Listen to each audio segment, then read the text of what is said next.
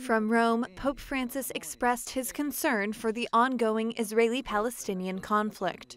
Gli attacchi e le armi si fermino per favore e che si comprenda che il terrorismo e la guerra non portano a nessuna soluzione, ma solo alla morte, alla sofferenza di tanti innocenti.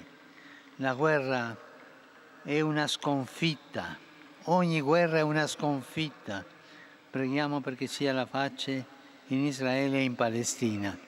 At the beginning, the policy of the Vatican in the Middle East was focused on the protection of holy sites. Before the outbreak of the Israeli Palestinian conflict in 1948, Pope Pius XII asked for a legal safeguard of the status of the Holy Land. Within the following two years, Pope Pius XII published at least three documents offering his mediation and asking for peace and aid for refugees. He asked Catholics not to be indifferent to the fate of such an important place for the Church. We do not believe that the Christian world could contemplate indifferently or in sterile indignation that sacred land still trampled by the military at war and shaken by bombing. The Vatican's advocacy for the Holy Land continued in the following pontificates. Pope Paul VI visited in 1964, and the Vatican continued to speak out about the needs of Palestinians.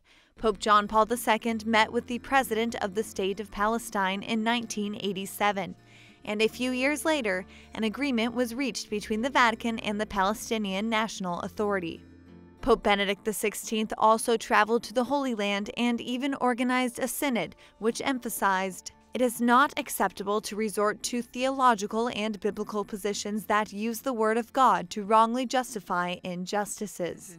The Vatican has pushed for a two state solution between Israel and Palestine. Pope Francis reaffirmed this during his visit in 2014.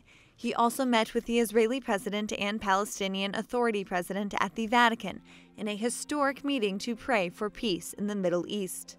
In 2017, Palestine officially opened its embassy to the Holy See. Hi, I'm Christine Persichetti, anchor of Currents News. If you like what you saw, please hit the like button on this video. And if you want to see more content just like it, subscribe and click on the bell for notifications.